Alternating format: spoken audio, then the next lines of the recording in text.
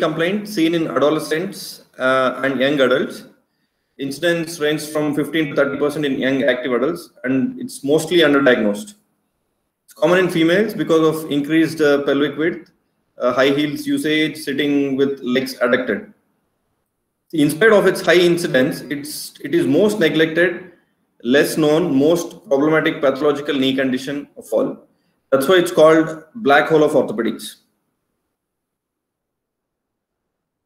So because of poor understanding, uh, the complexity of treatment increases, because of which there'll be uh, because of which there are multiple failed surgeries and there are a lot of patients who are demoralized after repeated uh, attempts of surgeries and treatment. So at this juncture, I would like to bring in two terms. One is internal derangement of knee and other one is chondromalacia patella. So both these terms are uh, actually uh, coined almost 100 years before, before 100 years. Uh, uh, after that, the authors which coined these terms, they themselves uh, understood that these these these terms don't denote anything and they don't give us any information regarding the disease. So they coined these terms as waste waste bucket terms. So they said these terms should not be used in future. But we are after 100 years, we are these two terms are still very much relevant to our uh, clinical practice. So that that actually gives us a gist about how how far we have progressed uh, in understanding the pathology of anterior uh, knee pain. Which means we have not uh, progressed at all. We hardly progressed uh, in understanding. So that's why uh, internal derangement of knee, which is called IDK, which should be called I don't know, and chondromalacia patella, which is called CMP, this in this this this should be called as could be maybe or possibly be. So coming to theories uh, coming to theories which uh, describes this anterior knee pain in 1970 uh, they attribute, attributed to this anterior knee pain to patellofemoral malalignment.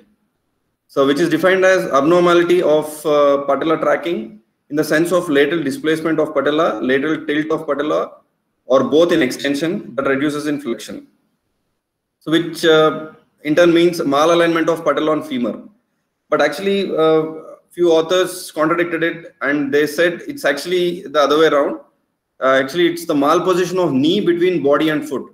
That means the structural abnormalities of the knee which, which actually give rise to malposition of patella.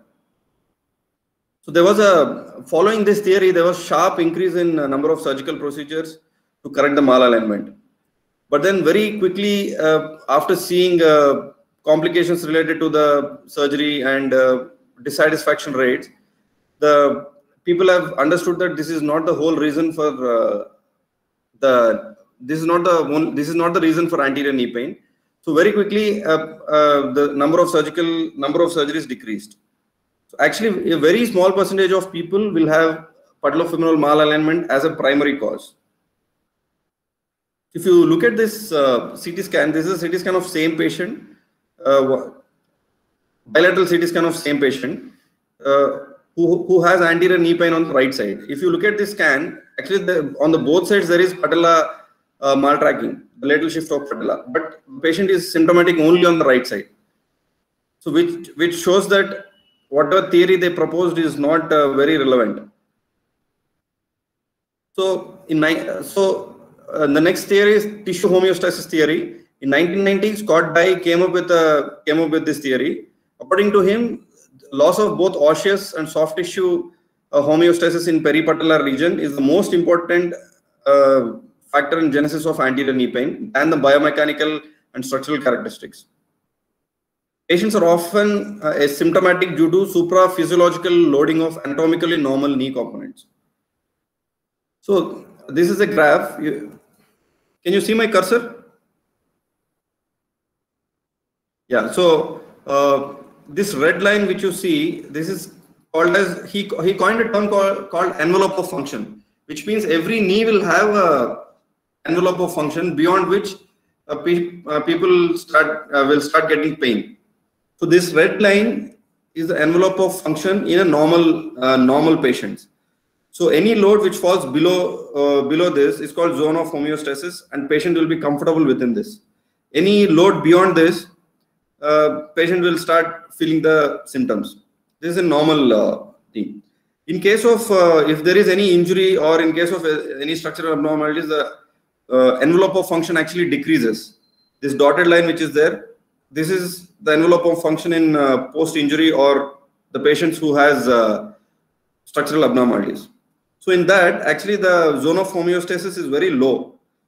So even a minor minor injuries can give rise to uh, excessive load and people start getting pain. So um, my colleague Rahul will actually uh, talk about this in detail. So actually both theories are not exclusive but complementary. A knee with patellofemoral mal malalignment can exist happily within its envelope of function. But once it is out, for example, by overuse, training error, pattern of faulty support, a patient can start getting pain.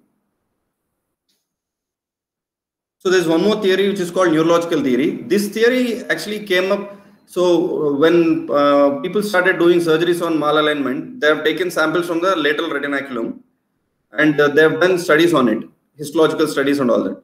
This theory came out of those uh, findings according to according to this theory, uh, because of uh, right lateral retinaculum in ex, uh, in extension, when when the knee flexes, there'll be excessive stretch on the lateral retinaculum, which causes hypoxia, and because of uh, this hypoxia in, in turn leads to release of new neurological growth factor, which in turn causes hyperinnervation and uh, causes more free nerve endings, which is the source for pain. So this is the neurological theory. So coming to causes for anterior knee pain, uh, starting from most common causes, uh, most common causes of patellofemoral pain or patellar, patellar tendinopathy. Less common ones are prepatellar bursitis, infrapatellar bursitis, synovial plica, quadriceps tendinopathy, fat pad impingement, patellofemoral instability. Occasionally seen are stress fractures of patella, Osgood Schlatter disease. The ones not to be missed, referred pain from hip, osteochondritis dissecans, SCFE, Perthes tumor, the lower limb structural abnormalities, and lower limb dynamic imbalance. So here is a small algorithm uh, to show how anterior knee pain can happen. So if you have uh, ischemia of lateral retinaculum or osseous hypertension in the patella, this can cause loss of vascular and neurological uh, homeostasis. And if there is a decreased envelope of function or the, if there is overuse of normal uh, knee, causes uh, focal supraphysiological loading of anatomically normal knee. Both in turn causes mechanical stimulation of patellar or trochlear interosseous nerves, which will lead to anterior knee pain. The other one, sir, if there is lack of uh, lower limb, if there is lower limb lack of dynamic control or lower limb structural abnormalities, these things can cause patellofemoral imbalance. This in turn can cause uh, retinacular overload, instability, and pain. Or it can cause osseous or cartilage overload, chondropathy or osteoarthritis, and pain. Coming to uh, clinical history, what to ask, how to how to approach a patient. Normally, uh, you should ask about any underlying uh, supraphysiological loading event or series of events that led to development of symptoms. Certain activities of daily living associated with PF loads, which are uh, getting up from chair, getting up and down the stairs, uh, sitting for a long time, they can become symptomatic. The characteristics of pain we should ask is quality of pain. Is there any radiation? Uh, are there any exacerbating and relieving factors? Anterior knee pain is frequently reported by patients to be achy, poorly localized, positional, and activity related. Commonly present with symptoms that are vague, chronic in duration, bilateral sometimes, and insidious in onset. The pain usually increases with activity and decreases with rest. Pain is rarely constant and asymptomatic periods are common. Usually pain is worse while climbing up and down the stairs. Movie theater sign, which is uh, pain, if you notice pain after prolonged sitting, this is because of uh, stretch in the extensor mechanism and uh, lateral and posterior directed forces on the retinaculum, patellar retinaculum. Next is uh, coming to location of the pain. Can be vaguely anterior. It can be medial or lateral to the patella and medial or lateral joint line. This medial or lateral joint line tenderness can be because of meniscal pathology. Uh, the pain can be even in the popliteal fossa because of the because of hamstring tightness or PCL injuries. The, if the pain is present in the inferior pole of patella, it usually uh, is due to tendinitis of the patellar tendon or fat pad impingement. So pain that is constant and are not related to activity or knee position should make the clinician suspicious of referred pain, neurological pain, reflex sympathetic uh, dystrophy, or magnification for secondary gain. Rarely, pain at rest can be associated with tumor, infection, or stress fracture. Some patients will complain of knee swelling and warmth, which can be subjective. I think this is what we hear most of the times uh, if a patient when a patient comes to us with any knee pain. Noisy knees usually are uh, not very problematic until unless they start showing some symptoms. Special attention must be taken to associated psychiatric pathologies or psycho psychological conflicts. Should ask any if there is any history of patellar instability, and uh, should ask if they have taken any uh, previous treatments. The previous treatments can be bracing, taping, NSAIDs, uh, injection therapy, physical therapy, any surgeries, the family history. Coming to examination, so the origin of patellofemoral symptoms is generally multifactorial and clinical examination cannot be limited to knee, but must be must take patient as a whole. So you should examine the patient as a whole. So going sequentially, first you should examine the patient in standing position. First is bipodal stance that is uh, standing on both legs. First, in, from front, one can appreciate the varus valgus alignment of the knee, orientation of uh, patella, morphology of uh, forefoot. From side, uh, one can see inclination of pelvis, spinal curvatures, particularly of lumbar hyperlordosis, a recurvatum of or flexum of the knees. From behind, one can appreciate the existence of scoliosis, tilted pelvis, malrotation of leg, leg length discrepancy, varus or valgus, varus or valgus alignment of talus, and an abduction or adduction of the forefoot. So one leg stance. This is very important uh, when you are uh, examining uh, knee for anterior knee pain. Uh, this position makes it possible to appreciate appreciate equi equilibrium of the lower limb. A lack of balance is frequently associated with uh, femoropatellar symptoms such as pain with or with or without instability and secondary uh, diffuse muscular weakness. In case of lack of balance, one could observe deficient hip abductors, a tendency to kneel in, a medial collapse in valgus, hyperpronation of hyperpronation at the foot, and compensatory inclination of the upper body. Sorry. When the patient is asked to bend the knee on which he is standing, the deficiencies tend to deficiencies tend to worsen. So uh, this is an image where uh, when a person, person, this is how you should examine a single leg stance. This is a uh, this is an image depicting normal uh, balance. In this image, you can see there is uh, you can see the pelvis getting tilted to the opposite side, which means the abductors are deficient. So this uh, this in this image you can actually see when you ask the patient to bend bend bend his knee it's going into further valgus. So gait analysis while having the patient walk we can observe him from front and from back. Look at the symmetry of his gait the way he balances his arm the length of the stride the orientation of patella varus valgus alignment of extremity the intensity of heel strike the step angle the pelvic tilt. Coming to seated position look for any swellings or uh, muscle atrophy. In sitting position, you uh, measure something called as a tubercle sulcus angle. This is an equivalent to Q angle measured. This is an equivalent to Q angle, which is measured at 90 degrees flexion. How it is measured? You draw a uh, line, you draw a transepicondylar axis and draw a perpendicular line which is which passing through the inferior pole of patella. That is the reference line. The second the second line is from tip, uh, center of tibial tuberosity to the inferior pole of patella. The, the angle the angle between two is called as tubercle sulcus angle. So it's no, it should normally be zero degree. If it is more than 10 degree, it means that uh, there is excessive lateralization of tibial tuberosity. Patellar tracking is evaluated by asking uh, the patient to flex and extend the knee while sitting. In the presence of instability, one can see the patella centered on the trochlea in flexion and lateral subluxation near full extension. This lateral shift consists, constitutes the so-called J sign. In supine position, we look for uh, spontaneous position of the limb uh, and the Q angle is measured. In prone position, femoral anteversion can be measured by measuring internal and external rotation of hip with knee in uh, 90 degree flexion.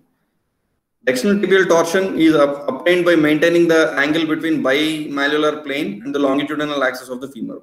This is an image depicting how you should uh, measure the external tibial torsion. Knee effusion uh, is checked by doing a patellar tap test. Uh, uh, coming to palpation, all the anatomical structures of knee are palpated to detect painful trigger points, inflammation or uh, structural defects.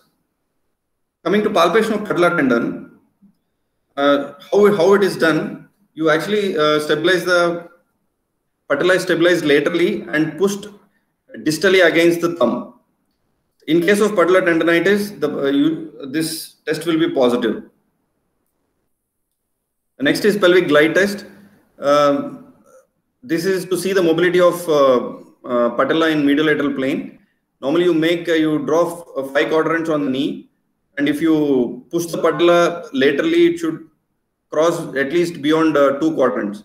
If it is less than one, if it is uh, if there if it is if there is no movement or if the movement is less than one quadrant, the test is positive. So another one is the patella tilt test. So these two tests actually uh, uh, detect lateral retinacular tightness. Coming to uh, another sign which is called as engagement sign. On occasion, there can be a conf uh, conflict as the patella engages into proximal tro trochlea. A short trochlea, patella alta, knee recurvatum, all are the factors that predispose to problematic patellar engagement and hence a source of pain. How it is done? You Patient is in supine position, knee in full extension. The thumb is applied firmly on the inferior uh, tip of the patella, and the knee is, and the, you ask the patient to flex the knee till 20 degrees. The test is positive if the contact between patella and trochlea is painful. Comprehension test. Uh, it's called Fairbank sign. It's a patho pathognomic uh, sign of patellofemoral instability. The patient is instructed to extend the knee uh, starting at 20 to 30 degrees of flexion with the examiner uh, pushes the patella laterally. Test is positive when patient resists and recognize instability symptoms. Muscle uh, flexibility. Patellofemoral pain syndrome has been frequently associated with defic deficits of uh, lower limb flexibility and several retrospective studies have shown this relationship in athletes. There have been consistent results showing this association with the tight quadriceps. Other muscle groups which you have to check for flexibilities are hamstring, IT band, iliopsoas, and gastrosoleus. Coming to investigations. Uh, first, first invest investigation is X-ray, AP view. The AP uh, it has to be done in a monopodal stance every time. That means single leg stance. Until 50 year old, this should be done in 15 to 20 degrees of flexion and after that it should be done in 30 to 45 degrees of flexion which is called Rosenberg view see uh, the images which you can see here the left side on your screen is an image which is taken at uh, 20 degrees of flexion which shows decent amount of medial joint line uh, joint uh, space the image on the right side is actually taken at uh, 45 degrees flexion, which shows complete bone-on-bone disease. So why it is important is uh, because whenever we uh, whenever we walk, normally our stance phase is at about 30 degrees of knee flexion. So the cart cartilage degeneration starts in that area. So that's the reason you have to get an knee X-ray in flexion, preferably at 30 to 45 degrees flexion. So other things to look at um, in AP view is quality of bones. Is are there any calcifications, uh, loose bodies, fractures? Lateral view. This is the most interesting view of the knee. The reliability of the interpretation depends on the technical uh, quality of the radiologist. It is absolutely essential to have a perfect superimposition of two posterior condyles. X-ray is done in monopodal weight bearing, that means single leg uh, weight bearing, with an angle of 15 to 20 degrees knee flexion. Things to look at. So joint line thickness, especially coming to joint line thickness, we have to see uh, which uh, part of the tibial cartilage is actually worn out. This indirectly indicates the indirectly indicates ACL, ACL deficiency. If the cartilage is deficient more towards the posterior side, that means there is a chronic uh, ACL deficiency. And you should look for anterior or posterior tibial translation. Trochlea, you have this. Um, this is a very important thing to look at in lateral view. Normally, the sulcus line uh, follows the Blumensaat line. In a, normally, this line stays posterior to the condylar line, meaning that trochlea is deep and congruent. What does that mean? If you actually look at the X-ray on, on your right, you can see the Blumensaat line and uh, which actually continues anteriorly as a sulcus line like this.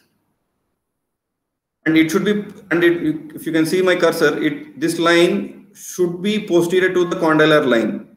That means the trochlea is deep enough.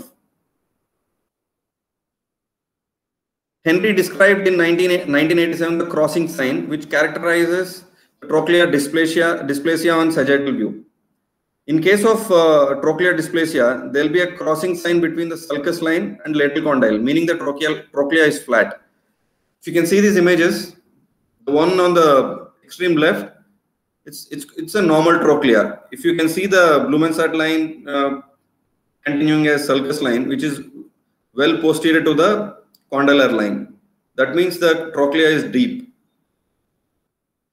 So in case of a flat trochlea, this sulcus line actually uh, will be at same level as the condylar line. In case of convex trochlea, the sulcus line is actually anterior to the condylar line. So coming to patella height, uh, the most common index which we use is Insall-Salvati ratio.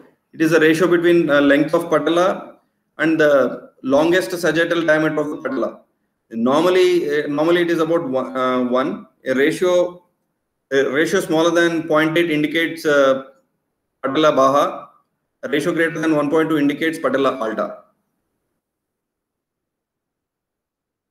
Coming to axial view, uh, what you have to look at in axial view is uh, sulcus angle. The angle this is an angle formed by two lines connecting the deepest point of trochlear groove to the highest points of medial and lateral femoral condyles.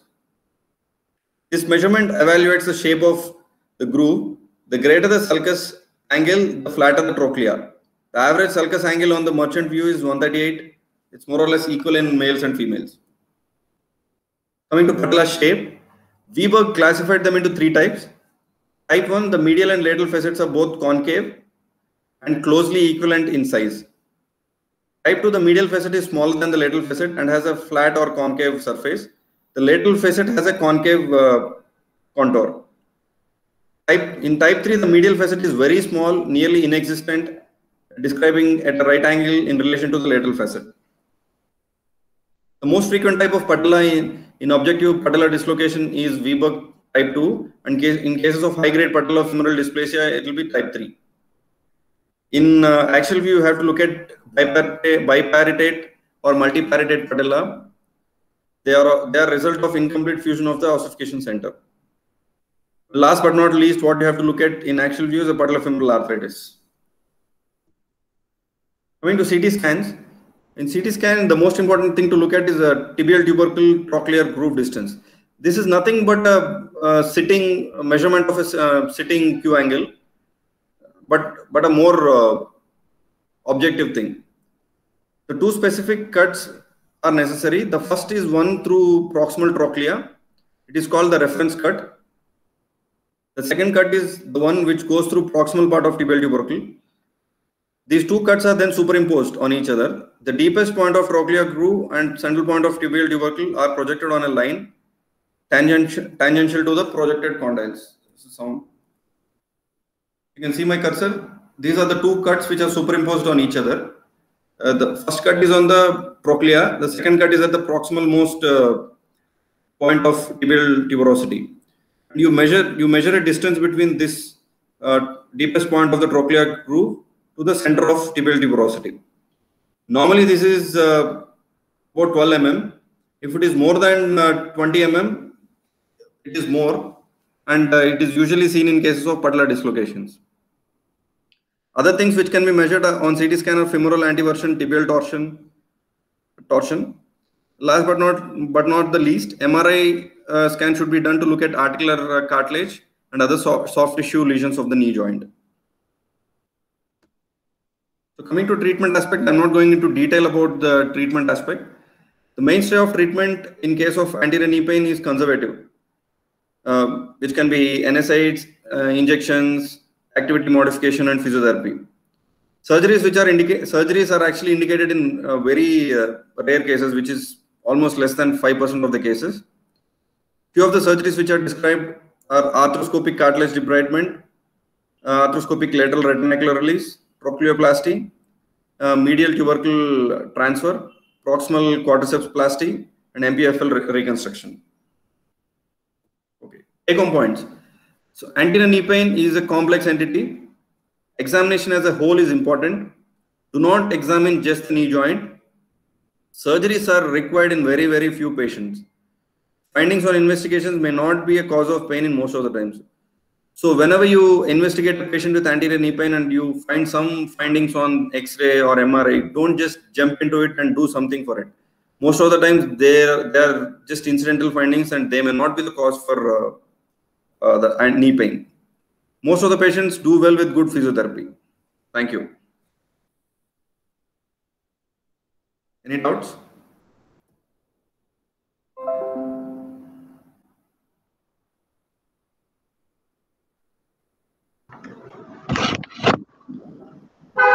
Anvesh. Hi, Vivek. Yeah, so the X-rays that you spoke about, are they uh, 45 degree, 40 degrees of flexion and all? Yes. So are those weight-bearing X-rays or non-weight? Weight, weight bearing X-rays, single leg standing. Okay, single leg stand. Single leg standing in 45 degree flexion. Called Rosenberg view. Yeah. Yeah. So normally why it happens, uh, why you have to get it in 40 approximately 30 to 40 degree flexion is. Normally whenever we are walking our stance phase is normally at about 30 degrees of knee flexion. Normally whenever we are walking we don't extend our knee completely. So normally a ma major loading happens at 30 to 40 degrees of flexion. So that's why the degeneration changes in that area. So that's the reason we have to get it in that uh, 30 to 40 degrees of flexion. Yeah. Okay. So, so that is like a general X-ray view for all the knee pains, or is it uh, specific to anterior knee? Especially in young patients, you don't have to go all the way till 45 degree. Uh, 15 to 20 degrees of knee flexion should be okay in younger patient. Uh, but whenever you are actually dealing with uh, old uh, OA patients, it's better to get it in 45 degrees flexion. So my, my point being, uh, in case you have a chondral defect or osteochondral defect in the uh, lower aspect or the posterior aspect of the condyles, which is evident in a 40 degree uh, stress view, weight bearing yes. view. Yes. So is, is, that one of the reasons uh, for an anterior knee pain? So should we make it like a mandate to make uh, this view uh, uh, specific for anterior knee pains, or should it be make it for every knee pain? Like I think, I think, I think it makes, yeah, I think it makes sense to get this view in flexion for all the knee pains. For all the knee pains. Yeah. Yes.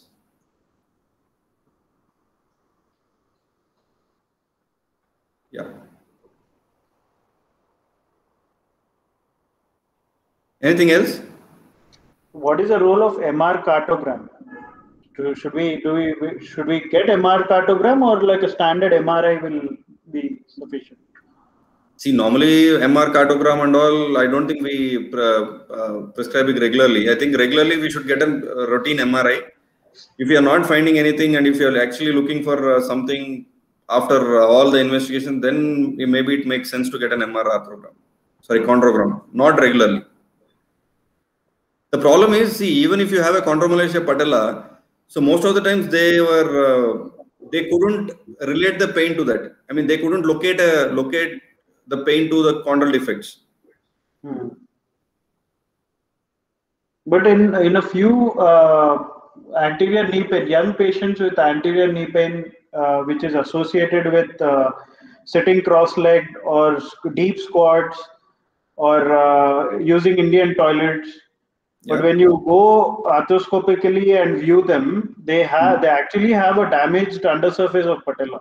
Correct. You they might see most of the times they are uh, just incidental findings. They might not be the actual reason for pain. Okay. So actually, this uh, guy called Scott Dye, he did an experiment on himself. So he uh, he actually did an arthroscopic uh, probing of his knee while he was awake, and he uh, mapped those uh, painful points. Actually, undersurface of patella is not that sensitive, according to him. Hmm. Okay. So they couldn't actually point uh, knee pain to that chondral lesions, even though they might be there. Hmm. So in that case, in most of the arthritis, more than the uh, chondral defect, the pain is due to synovitis. Yeah, it is because of synovitis and uh, retinacular tightness. Yeah, mostly that's how it is. Yeah.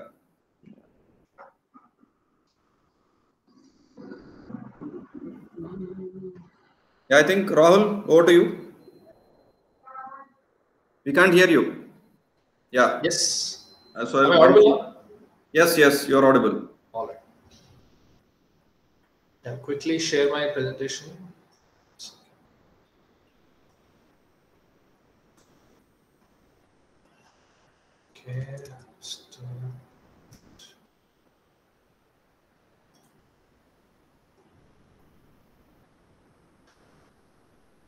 Okay, uh, welcome everybody. First of all, thank you for joining us on this Saturday evening uh, session, academic session on uh, uh kneecap related pains. Uh, thank you, Dr. Anvesh. That was a very lucid presentation that you've given. So my topic, just a second, I'm quickly scrolling through my screen.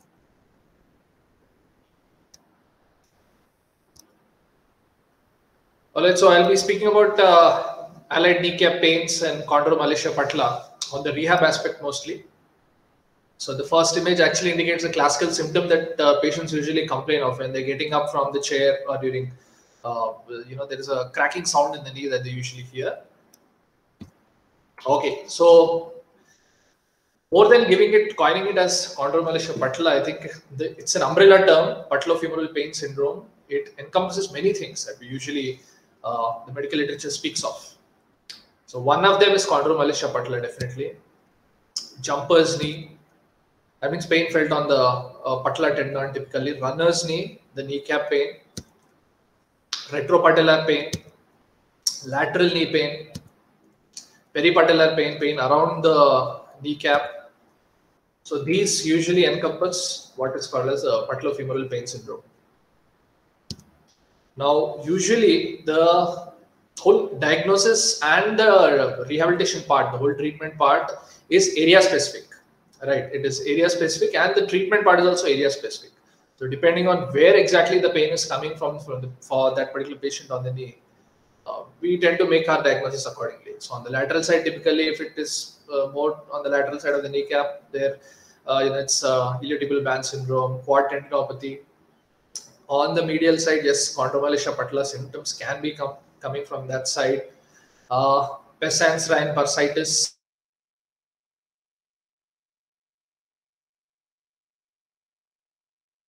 Pain syndrome or one of them. Chondromalacia patella is more of a, you know, it's a boiled down diagnosis. That means first our diagnosis should arrive after we have ruled out everything. Uh, you know, any classic grade one uh, meniscal lesions also can sometimes uh, give rise to pains like these. So rule that out. rule out any lateral structure involvement like ITBS, iliotibial band syndrome, any patella tendinitis. So all area specific diagnosis we usually rule out and then our final boiled down diagnosis should be patellofemoral pain syndrome. So usually patellofemoral joint loads, they are a cumulative of both extrinsic and intrinsic loads. So both of them, what are these extrinsic and intrinsic loads?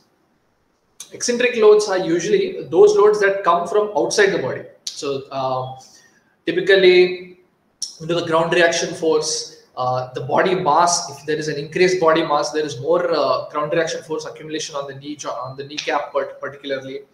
Uh, speed of movement, right, surfaces on which they walk, and any change of footwear. All these factors usually contribute the extrinsic factors of uh, patellofemoral joint. Any and intrinsic factors, those are usually divided into remote and local factors. Remote factors are the you know the uh, any change in the arthrokinematics of the knee joint like increased femoral internal rotation dynamic knee valgus that means the knee valgus that is presented usually during gait tibial rotations uh, typically the external rotation of tibia subtalar pronation any uh, uh, any in, any change in the ankle uh, biomechanics also usually tends to contribute to the patellofemoral knee joint symptoms and certain local factors like patella position, whether it is a high riding patella, low riding patella, squinted patella, uh, soft tissue tension, and neuromuscular control of the medial and lat lateral components of the vastus medialis.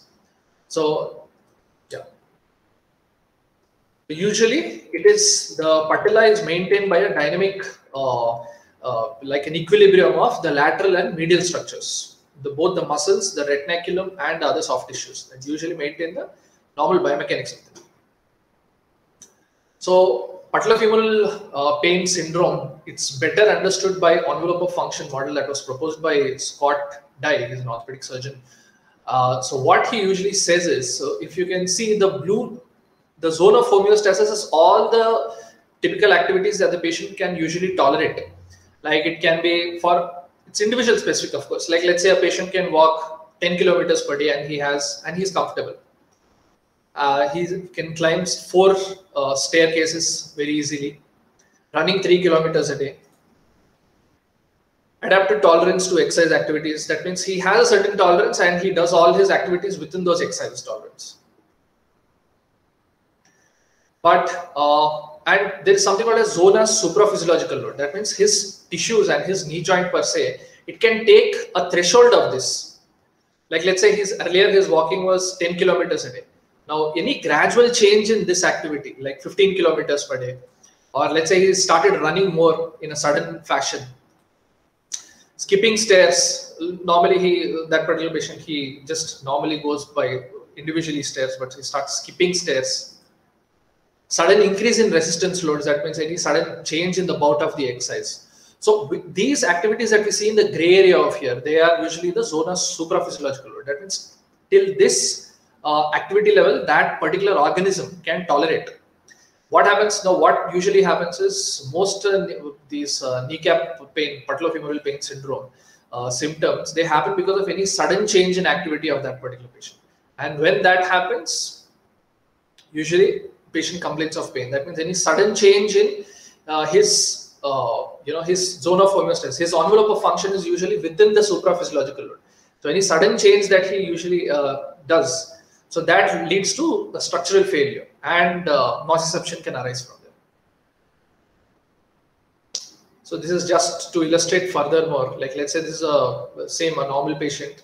He normally manages to about uh, jump for two meters height, run for one hour. That's all okay. Excessive also, he uh, you know jumps for more than three meters height, running on hills for 30 minutes. Now any sudden change he does, what happens is what was earlier tolerable for that patient now becomes excessive for him. Now, what he was doing earlier, even jumping from two meters becomes painful. Running on hills for more than 30, 30 minutes, even that becomes painful.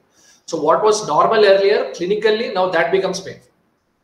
So, this is the uh, envelope of function. So, most any rehabilitation uh, plan that we have for the patient should actually be in such a way that slowly, slowly we are pushing the patient to increase his zone of function, whatever is within his uh, envelope of function, that we are introducing more and more activities into it. So a little, I'll be touching upon the patellofemoral joint uh, biomechanics. So on the left side, if you see, this is an image of the uh, knee going into flexion. And these red and green image, green linings that you see on the knee is usually, it's indicative that uh, the greater the knee flexion, the more there is the patellofemoral joint stresses, right? If you see on uh, 0 degrees to 30 degrees to 60 degrees gradually, uh, 0 to 30 degrees is where there is little patellofemoral joint stress, whereas when the patient goes from beyond 60 degrees, 60 degrees to his final 140 degrees of knee flexion, this is where there is more uh, patellofemoral joint stresses. So uh, to talk a little bit about the patellofemoral joint mechanics, biomechanics is the patella usually glides superiorly and inferiorly on the femur during extension and flexion of the knee. So the total excursion of the patella from full knee extension to full knee flexion is about 5 to 7 centimeters area. So limited superior gliding of the patella may result in limited active knee extension. Uh, and also there is the initial contact between in the inferior aspect of the patella and the trochlea occurs at approximately 20 degrees of flexion. So this contact area moves proximal as the knee uh, flexes beyond 90 degrees of flexion. And the superior portion of patella contacts comes in contact with the trochlea. So anything beyond 90 degrees of uh, uh, knee flexion, the patella rides down in the intercondylar part. So that is usually the way uh, the kneecap moves per se on the knee joint. So at uh, the odd facet of the patella makes contact with the medial uh, femoral condyle, right? And the, so now in this aspect, depending on where the condyle lesion is uh, for that particular he can usually complain of pain. So if uh, if the area of condyle is usually somewhere on the initial uh, 30 degrees, so if that it is on that part of the patella, he will have pain during that aspect of uh, knee flexion. So that is how it usually presents. That is a typical uh, joint biomechanics of the patellofemoral joint. And it is obviously always maintained by lateral and medial restraints. So clinical characteristics are uh, uh, you know, we usually see reduced quad bulk and primarily it is noticed on the VMO. So when we compare it to the contralateral uh, limb, the contralateral knee, the significantly the VMO atrophies. Um, and that the timing of VMO measured on surface EMG. What so if to look at it uh, to probe a little more deeper into it, if we uh, usually apply a surface EMG on the knee joint on the VMO, and if we apply it even on the contralateral uh, limb. So what we observe is the timing in which the VMO recruits. That is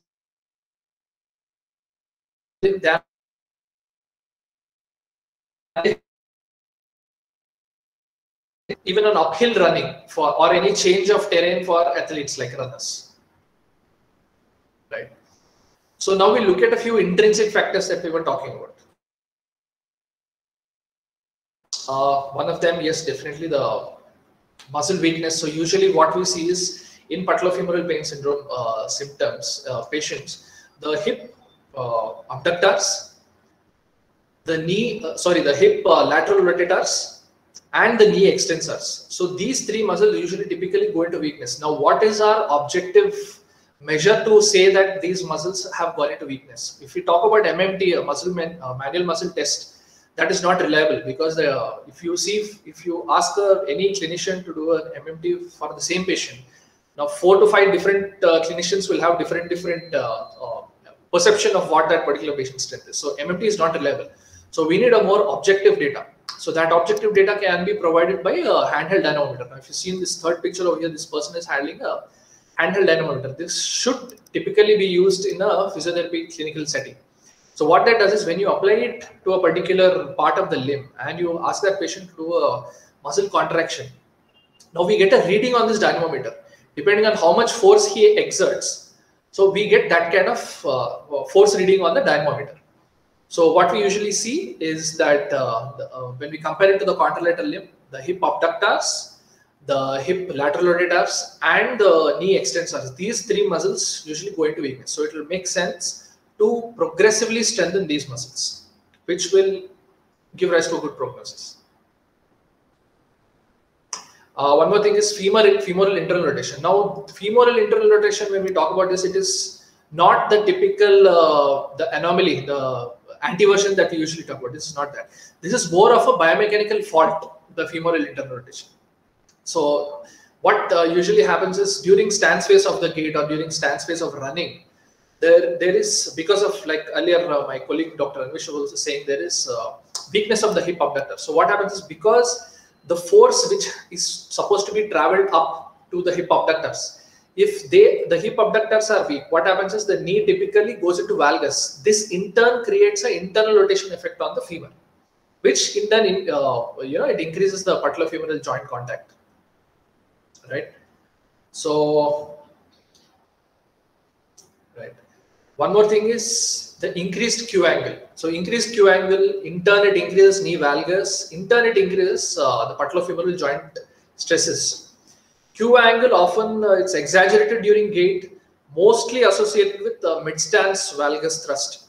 So in this, uh, uh with regards to this, a step down test usually is a, a clinical uh, measure for us to see if a patient has uh, you know, patellofemoral joint uh, uh, pain symptom. So usually when we ask a patient to step down from a step, he complains of pain. Step down, step down test is one of them. Single leg squats associated with increase in knee valgus position. Usually this manifests as an increased hip abduction or a lateral pelvic drop owing to weakness of the gluteus medius.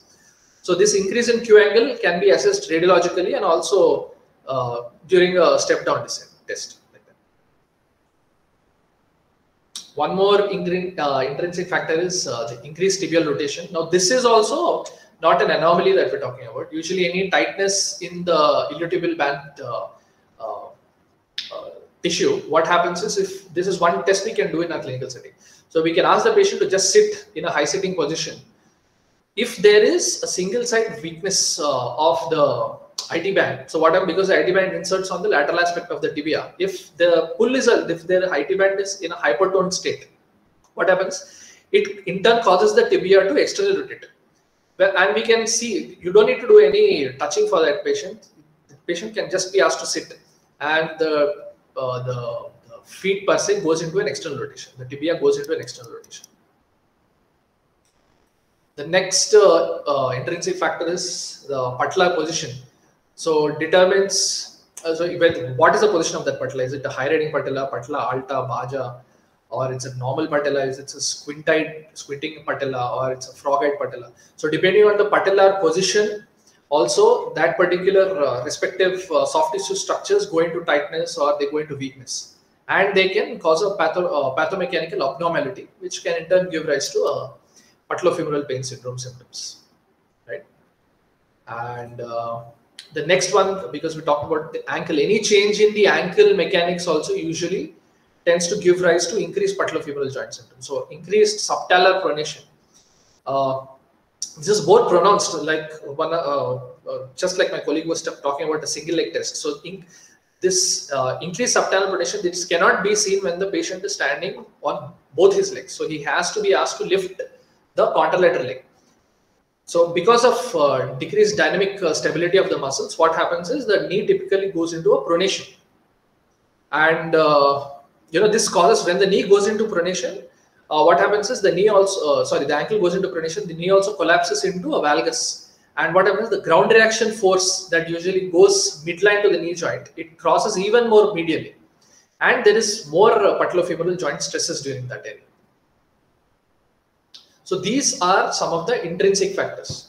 Now, what are the extrinsic factors? Extrinsic factors are those which are acting from outside the uh, the body. They are not typically your muscular forces. So extrinsic factors, any change in the their usual running cadence, any change in the walking surface or running terrain, any change in the type of footwear that can influence the mechanics of uh, gait, sudden increase in body mass, speed of gait also that also is you know typically that gives rise to more uh, uh, patellofemoral joint symptoms and running cadence and running gait also that means the number of steps that he takes per minute so any change in that also usually tends to translate into an increased patellofemoral joint symptoms So these are the extrinsic and intrinsic, intrinsic factors. Uh, now, how should we go about addressing the patient? So this should be our treatment paradigm. Usually, our first priority should be to reduce pain. Now, how can we reduce pain? Reducing pain can only be happen when we work on the intrinsic factors. Now, one, uh, but most of the intrinsic factors where we tend to work on, they are very good on the acute stages. So some of them are taping, electrotherapy, soft tissue work. So usually they are uh, they have good acute results. The next uh, important thing would be to modify the current envelope of function of that patient. Uh, you know, we have to, this, that means his load management has to be modified. Uh, this can happen through counseling that patient, getting an understanding of how his current uh, level of activity is and active, modifying that gate upper, uh, activity level accordingly. Any gait correction. So this should be the, uh, this is how we modify the current envelope of function of that patient. And our next and most important thing is to build that particular patient's uh, muscle strength and his ability to, to deal with all these dynamical loads in a progressive fashion. So progressive strengthening exercises gradually and returning that patient to sports or returning to his to his level of performance. So now we'll individually look at uh, some of these uh, treatment paradigms. So the first thing is taping. So kinesiotaping, taping. There are many types of taping that uh, usually the literature uh, prescribes of kinesiotaping, and uh, there is also the McConnell or rigid taping. So there are many types of taping and depending on how the patellar position is, this kinesio tape has to be applied accordingly. So some of the very good effects that we see uh, for patients is there immediate effects of uh, on pain uh, symptoms reduction. The, pain, uh, the, taping also is known to offload the patellofemoral joint uh, forces and it is, but this cannot be done on a chronic run. On, only on acute settings, it tends to work nicely. So only on acute settings, this taping should be done. So the classic debate, what is the best thing to be done? Is it a McConnell taping or a kinesio taping? McConnell taping is our typical rigid taping that we do for our patients. So uh, both provide good nociceptive input, but the only thing is with McConnell taping, it uh, McConnell taping tends to correct the alignment of the knee. So if there is more lateral gliding, McConnell taping uh, can actually correct the, the patellar uh, abnormality. So this was a study that was done. They saw 11 articles which are included in this analysis. Uh, so this study actually came up with the fact that uh, kinesio taping, it provides good nociceptive input, but it does not cause any uh, uh, mechanical alignment changes. Whereas a mechanical, taping typically causes mechanical changes in the knee, in kneecap. Uh, next thing, soft tissue release of the iliotibial band. Because the IT band typically goes into tightness, which we can uh, typically see. Uh, so soft tissue release of the IT band usually reduces the uh, the nociceptive input of that patient. But the exact uh, mechanism of effect of how this pain reduces when we do an IT band release for that patient is not known.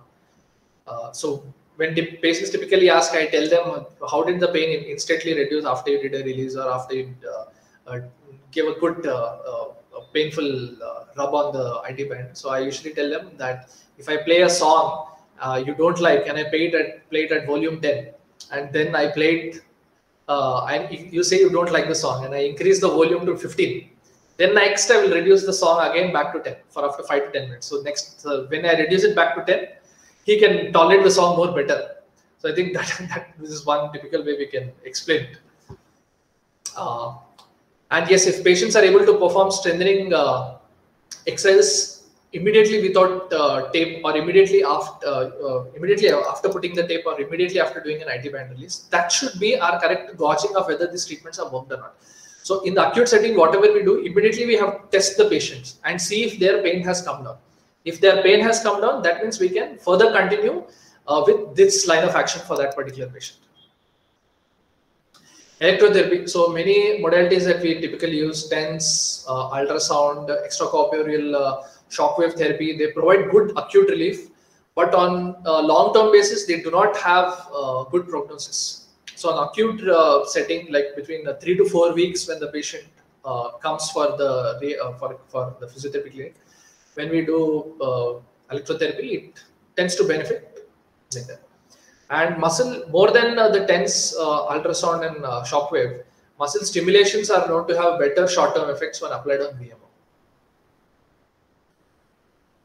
Other intrinsic factors, so correcting foot position mechanics along, uh, alongside which improves muscular tenderness compliance for foot orthosis gait modification. That means if, like we earlier, talk, earlier talked about, if the, uh, the, the ankle is going into more pronation, so it will make sense to use a lateral wedge or medial wedge, sorry, such that the joint mechanics are corrected and in turn the kneecap force is reduced. Exercise therapy by muscle strengthening of the quads, hip abductors and external rotators. So our uh, exercise therapy should be a mix of closed kinetic chain and open kinetic chain exercise. So we'll just uh, quickly look at uh, some of the patellofemoral joint loads during various activities.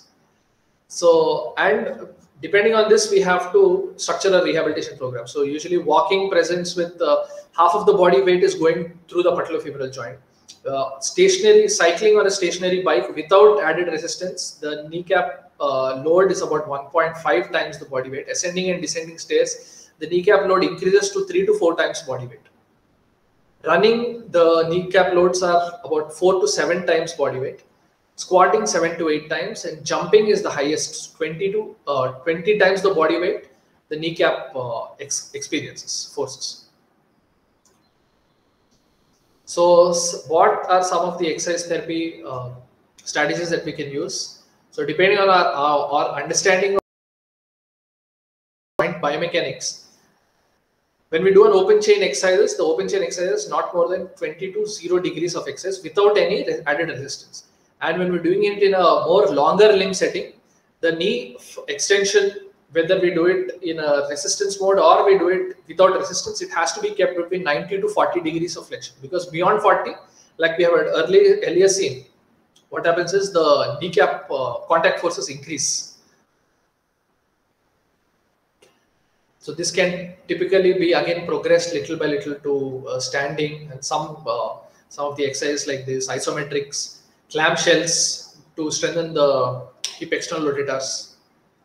And some mid-phased exercise therapy approach can be, we can introduce squats, but not totally. Initially, introduce from 0 to 30 and gradually progress from the, those on, here, there on. And uh, squatting with weights. Late stage exercise approach should be single leg squatting, like a single leg get up, and step down squats squats with weights, kettlebells, barbells. So these should be our uh, late stage exercise that we approach. So this is a uh, little bit on the patellofemoral joint uh, rehabilitation. So, but uh, see, it's not like it's not uh, so clear. Like uh, it's not like a cookbook rule that we have a patient and we do, you know, only these particular strategies. It should be a mix of everything. So our rehabilitation perspective should be a mix of everything. It should be a mix of taping, addressing the intrinsic factors, addressing the extrinsic factors uh, through uh, strengthening and uh, counseling the patient to modify his activity. So, and the zones of failure for that particular patient for uh, for patellofemoral joint syndrome varies from one patient to the other. It's like a Pandora's box once we start addressing uh, in terms of rehabilitation settings. So there are many asymptomatic outliers exhibiting the above explained biomechanical abnormalities. We can have a number of patients who demonstrate uh, uh, typical IT band tightness, but they can't have any pain. So structural normality does not necessarily correlate to a clinical complaint. And these objective parameters should be taken into consideration uh, and compared to contralateral side and worked upon individually one by one. All right, so that is uh, the end of my presentation. So any questions, any discussions, we can take it up over here.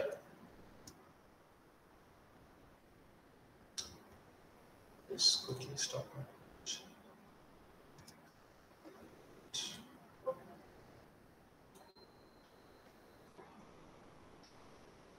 All right, so any questions?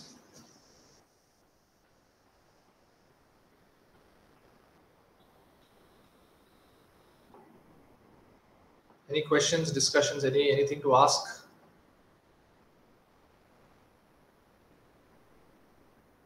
Okay, so we'll end the webinar over here. So this is the last and final uh, part of this particular webinar that we did on uh, the knee, painful knee. So thank you everybody who has joined us for, for the first, second, and even the third webinar. It was uh, very nice hosting.